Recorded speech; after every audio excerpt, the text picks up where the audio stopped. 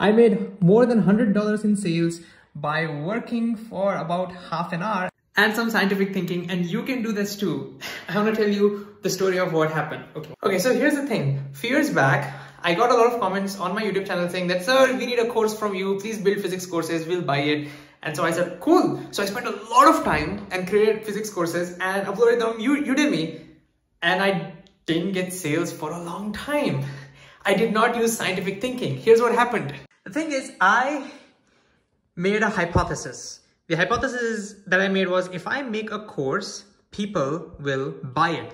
As simple as that. And you might think that, what are you talking about? But this is the hypothesis I made before making the course. And guess what? I didn't even try to think about testing that hypothesis. I didn't do it. I didn't test the hypothesis. I just went ahead, built the course, wishful thinking, and yeah, uh, didn't get sales for a long time. I did get sales a little bit later, but I could have done it better. So this time, this time when I started writing on LinkedIn, something very similar happened, but this time I thought of doing something differently. So what happened? A few months back, I started creating cartoon carousels. I've been writing in LinkedIn for such a long time, but then I started creating these carousels and you can see the waves just skyrocketed. It, then, then I got sick and I was traveling and I just couldn't get back to it. But this happened mostly because my post started going viral. You can see I got about 5,000, about half a million impressions, about 190,000 impressions, 187,000 impressions. Needless to say, I realized that these cartoon carousels were work, working. And not just that, these were not just empty um, empty views. I Even my followers, you can see, simply started, started skyrocketing. I started getting a lot of things. And again, something very similar happened. I got a lot of messages asking from folks who ask me, hey, how do you do these cartoon carousels? They're amazing, would love to learn about it and all of that. And I was thinking, hmm, maybe I should make a quick course because people are asking for it. But this time, this time I had learned my lesson. I realized that, hey, you know what? I was again making the same hypothesis that if I make a course on creating cartoon carousels, people will buy it. But this time I thought of testing that hypothesis. And how do you test a hypothesis? And this is this is the most important part when it comes to scientific thinking, okay? How do you test this hypothesis? Okay, in both my hands for effects. You try to disprove your hypothesis. That's what science is all about. And that's the thing that human beings we just don't do it intuitively. Intuitively, you want to be right. You want to be right about the things, your, your guessworks and your hypothesis, but science is about pursuing the truth. And we know that human brains can have a lot of cognitive biases. So if you really want to do science and be in pursuit of truth, whatever guesswork you do, whatever hypothesis that you make, your goal next should be try and disprove it. And only when you cannot disprove it, that's when you start saying that, hmm, maybe this hypothesis makes sense. So I was now thinking about, I have made the hypothesis that people will buy my course if I create that course. How can I try and disprove it? That's the question I was, I was wondering about. And the easiest way of disproving it, I thought, was, hey, you know what? Let me create a landing page for that course. All right. And I'll ask folks to pre-order.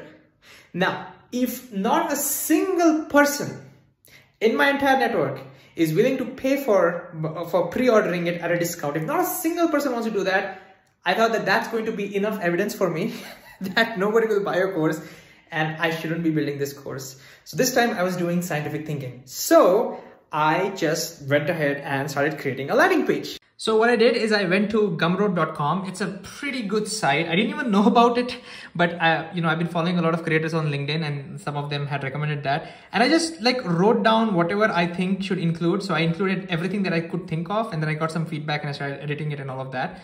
And I, I think I built a pretty decent landing page and I asked folks to pre-order, pre-order for 9.99 if you can see that right and i made it live and then i made another carousel post of just just like a quick tutorial on how i build my um, a, short tutorial on like how I build these uh, cartoon characters.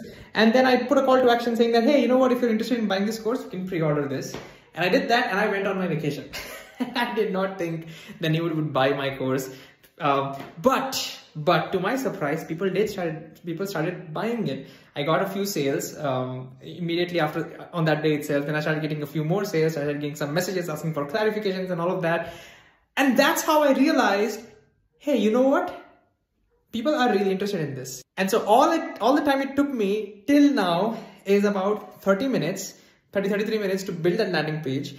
And in that 30 minutes, I tested my hypothesis that people are willing to buy that course. Now, of course, of course, I didn't think too much about like how many people should be buying that course, revenue, and how much should I be generating, blah blah blah. I didn't want to do that. I just like I just wanted to have some fun. Um, I just wanted to share whatever I know, and I was just like wanting to do it a little bit more scientifically. All right. So this technique, this whatever I just did, there's a scientific name to it in the business community. It's called building an MVP. M stands for minimum viable product.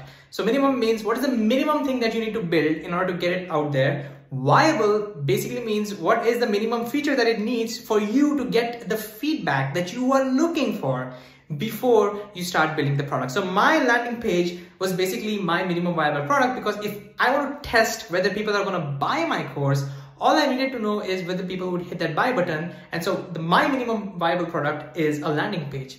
And a lot of you folks now might be thinking, hey, this is a common knowledge, Mahesh. MVP is something not new. But a lot of people, like I didn't know about MVPs a few years back. So I'm also, I'm, I'm wondering that there will be people out there who doesn't know about MVP. But guess what? This MVP, where does it come from? It comes from scientific thinking. It comes from this idea of building hypothesis and trying to quickly test it and, and, and, trying to disprove it. So that's why I think scientific thinking is such a powerful thing that you can apply to almost every area of your life, especially in your careers, but not just that, parenting, relationships, and big career deci big decisions in your life. And that's why I always say, that's why I always think that whenever you're learning science in schools, you're learning science not because you want to apply Newton's laws of physics or you want to apply chemistry somewhere, but they're excuses to learn scientific thinking. Um, a framework that humanity has developed of figuring out the truth. And by the way, that course is, still up for pre-order if you want to buy call to action. Okay, if you're interested and if you want details, is there on my homepage. You can go, go to my homepage, click on Grow 10x with Cartoon Carousels. Um, and yeah, if you're interested, then just look at all the stuff that it has and, you know, support me. By the way, after March 15th, um, it's gonna be 24.99. All right, see you, see you, see you. Bye, bye, bye, bye, bye.